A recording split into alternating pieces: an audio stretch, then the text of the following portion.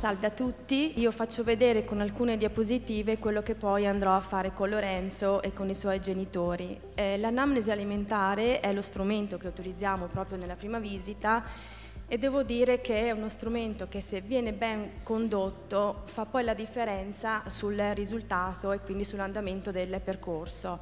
Cosa andiamo a fare? Eh, ognuno di noi utilizza diciamo, delle, degli strumenti, però in linea generale facciamo delle domande che eh, ci aiutano ad avere informazioni su quello che è il modello alimentare del bambino, quindi eh, il numero dei pasti, il numero degli spuntini, la, la presenza dei fuoripasti durante la giornata informazioni che riguardano la qualità alimentare, quindi chiediamo sicuramente con che frequenza vengono utilizzati alcuni alimenti piuttosto che altri, perché appunto come ben sapete alcuni alimenti vengono consumati troppo, inefrequenti, altri meno.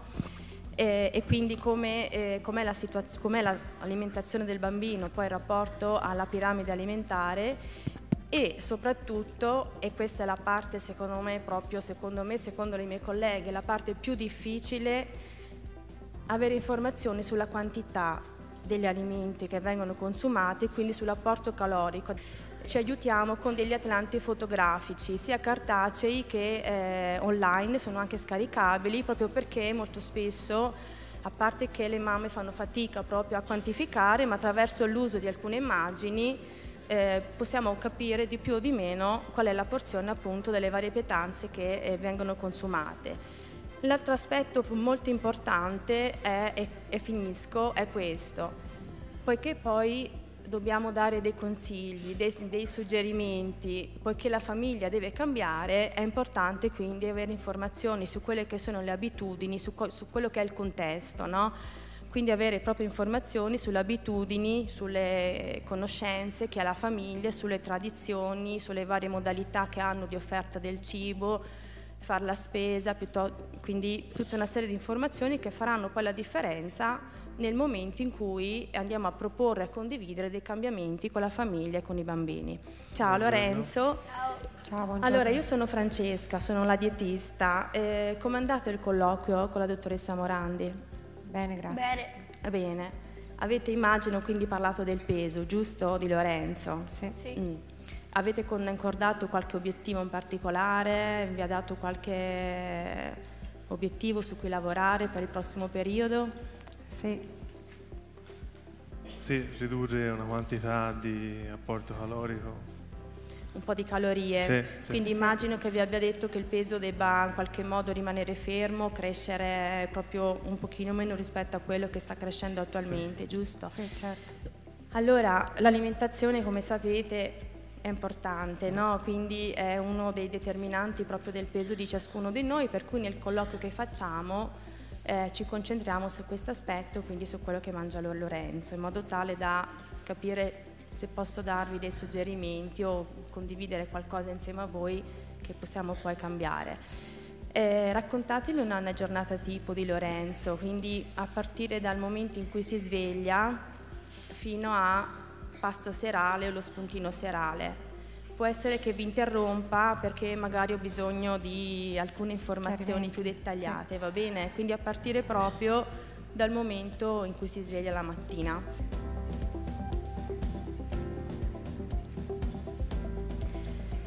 Allora signora, eh, le farò vedere ora delle quantità, mm?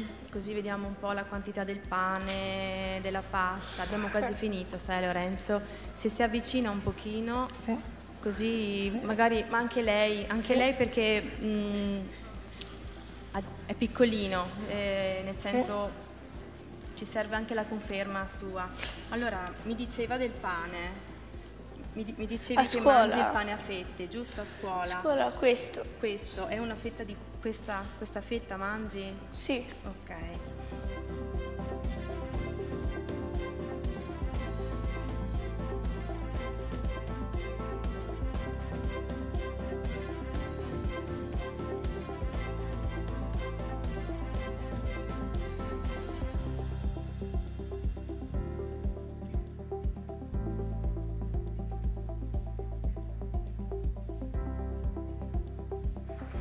Direi che come informazioni eh, ce ne avete date tante.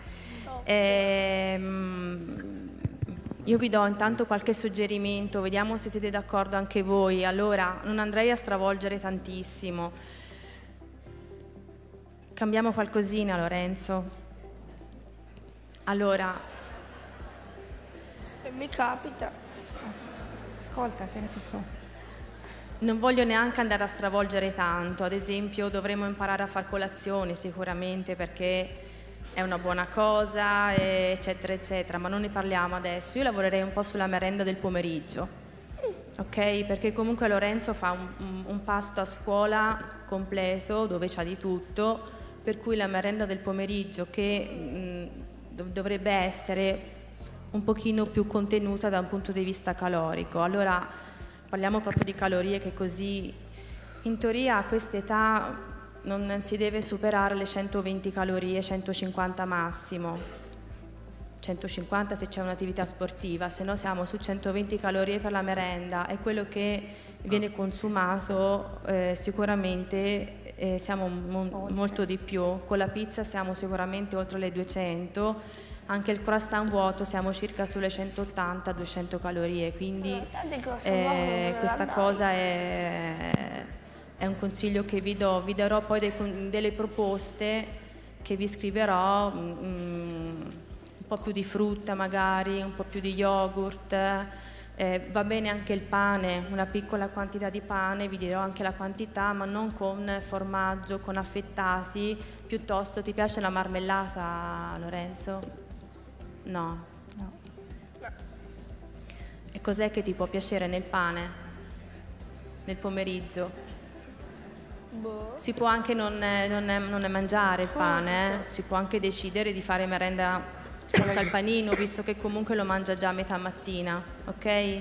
Ecco, un'altra cosa, ehm, secondo me dovremmo stare un po' attenti sulla quantità della pasta perché comunque bene o male c'è anche il pane all'interno del pasto quando c'è la pasta, quindi la quantità giusta per l'età che ha siamo sugli 80 grammi.